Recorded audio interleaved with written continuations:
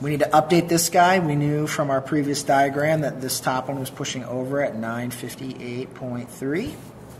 All right, we knew that this one is pointing up and to the left at 1096. Uh, All right, this is the only one that we don't know. Step one, what do we always do when we get here? We break everything down into XY.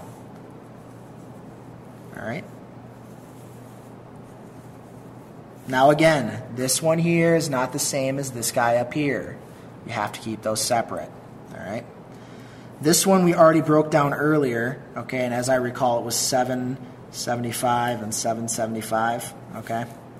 And it's going up and to the left. I can tell because that's what the arrow over here is telling me to go. This is going up and to the left. So there's my up and there's my left. All right, and then uh, this one's been broken down. We don't know what this is yet, but we'll, we'll find it out, okay? So we've broken everything down. Um, we filled in all the information. So the, the first thing I'm going to do is I'm going to start with y again, just because I like to start with y. So the sum of all the y's forces in the y direction equals zero. Well, y is up and down. So what do we have? We have up at 775, okay, which is going to be positive. So this is going up at 775, so positive 775, plus, all right, we have a 500 going down, so this is going to be plus a negative 500. And then what else do we have? This is the last one. Okay, so this is going to be E, and this is point B down here that it's connecting to. So line segment um, EB, all right, and in the Y direction, plus EB in the Y direction equals zero. Well, this is the only unknown that we have. We can solve it, all right? So 275, or excuse me, 775 plus a negative 500, or you're just subtracting 500, you're left with 275 plus EB in the Y equals 0. Well, subtract 275 from both sides. EB in the Y direction equals negative 275. So it's pointing down with a force of 275. Down with 275. Okay?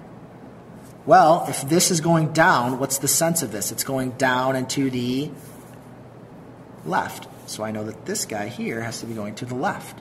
Okay? And we're going to run into um, this problem here. This one right here, this, uh, this EB in the x direction, we actually don't even have to use a triangle to solve it, all right, because it's the only unknown that we have left. And I'll show you what I mean. The sum of all the forces in the x direction equals zero. Well, what are all my forces in the x direction? We have this one here, 775, it's a negative, negative 775, plus a positive 958.3, 958.3. What's the only force left? It's this one right here, this EB, EB in the x direction. All three of those added together have to equal zero. Okay? So let's just simplify this guy right here. So negative 775 plus 958.3 equals, I have 183.7. So 183.7, okay? Plus EB in the x direction equals 0. Well, subtract 183.7. EB in the x direction equals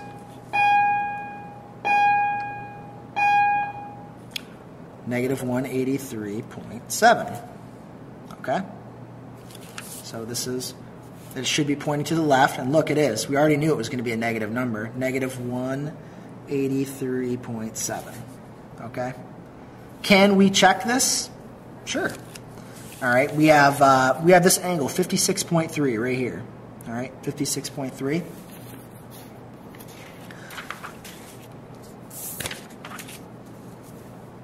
and we also have the adjacent and the opposite. So I can come back here and I can actually check to make sure that these numbers all match up.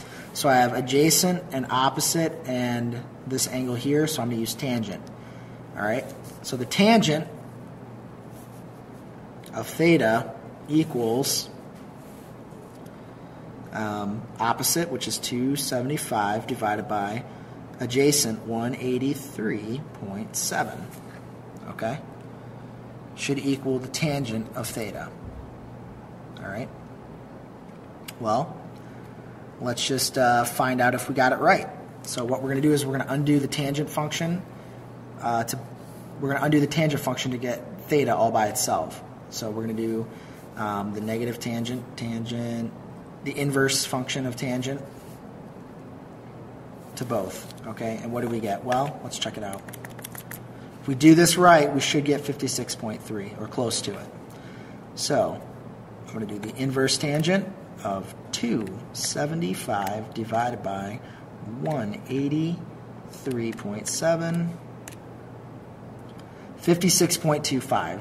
Okay, 56 point, what is it, 56.3? So yeah, we're, we're right on. We're right on spot. We just double checked our work. All right, little rounding, um, but close enough. Okay? So, is this guy done? Not yet. We still have to solve for this guy. I'm just going to do a squared plus b squared equals c squared, 275 squared, plus 183.7 squared Okay, that's c squared. Now we're going to undo the square and just get c by itself. Answer. So we get 330, well, 331. 331. Okay? So that's that guy right there. Now we're going to take this information and update our free body diagram. Well, what, what information did we not have before? Well, we pretty much had all of it. The only thing we're missing was this one right here, which is this right here. So this is uh, going to be 331. You said that, right? 331. And it's going to be in tension. So, all right. We're going to do that. We updated the arrows here. We're good to go. Now, we go down here. How many unknowns do we have? We have zero unknowns. But it's always good to come down to the last one to double check and make sure that your work is right. I mean, as of right now, we're done. Okay, you could stop now, but we want to double check and make sure that everything checks out at this last place. All right, so we're going to go to our final free body diagram, and I'm just going to update everything. So we've got this information here that needs to be updated on here.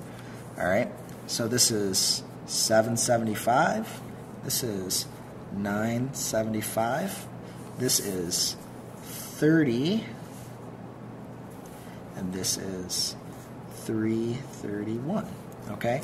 Now remember, step one, break everything down. Oops, let me slide this up. Step one, break all your angles down into x, y. So I'm going to break this down. I'm going to break this guy down here. Okay. All right, and we already broke all these down. I know that it's going. Um, uh, I know that this one is going down at 25, right? So down. I'm just going to down at 25, and I know it's going to the right. This one is going up and to the right. All right, this one, if we come back to this free body diagram here, it's the same numbers. It's going up at 275 and to the right at 183.7. Okay? And this one right here was 16.7. Okay? When we broke those triangles, if you break these vectors down, you get the same exact numbers. All right? I'm just going to assume that you know how to do that. So we're just down to the final problem. We should add all these up and it should equal zero or very close to zero. So the sum of all the forces in the x direction equals zero. The sum of all the forces in the y direction equals zero. I always like to start with y, so let's do that. So up and down.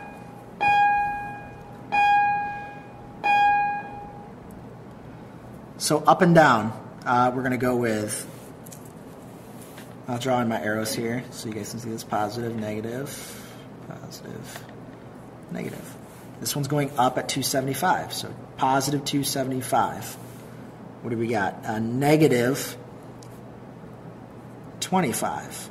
All right. What else do we have? Anything else? Oh, right here, a negative plus a negative, oops, negative 250. Okay, that should equal zero. Well, let's let's see. 275 minus 25 minus 250. That just basically got rid of these plus negatives. Whenever you add a negative, it's the same thing as subtracting. So 275 minus 25. Well, that leaves me with 250. Subtract another 250. That leaves me with 0. So this checks out. So we're good. Now we need to check the x's. All right. I have 975 going that way. That's negative 975. All right. I have positive 775. All right. What about this one? It's going to the right, positive 16.7. 16.7. And what about this one? It's going to the right, positive 183.7. And that should all equal 0 if we did it right. So let's see. We got negative 975. All right. Negative 975. And then we are going to add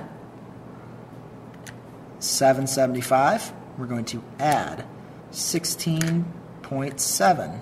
We're going to add 183.7. All right. And what do we get? We should get 0.04, so we're off by a little bit. Um, and I think I know why. It's because of our rounding. Okay, so we're, we're right on the nose. Uh, I probably rounded a number someplace that I shouldn't have, but it should be right right on the spot with uh, with zero. Okay, so because of rounding someplace, I may have written a number wrong down, but this should equal zero. Okay, and it, and it does check out. All right, so we we would be good with that. Okay, and now if you jump back to here, you would see that you have completely solved this entire truss. Everything double checked, checked out, with the exception of a little rounding uh, that might have thrown things off a little bit, but all in all, we, we should have been good to go. Okay? So that is it. If you have any questions, let me know. You can uh, respond to this video, and I'll do my best to try and answer questions. Um, thank you.